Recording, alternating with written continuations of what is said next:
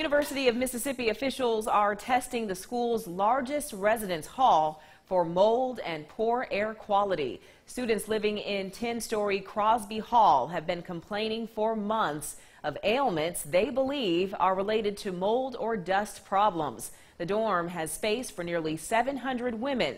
An environmental contractor conducted an air quality test Tuesday with results expected in coming days. Ole Miss officials say students are being given the option to move to other dorms at no additional cost if space is available. The university began inspecting rooms in Crosby Hall earlier this month after complaints from parents and students. Students say they're suffering from sore throats and coughs.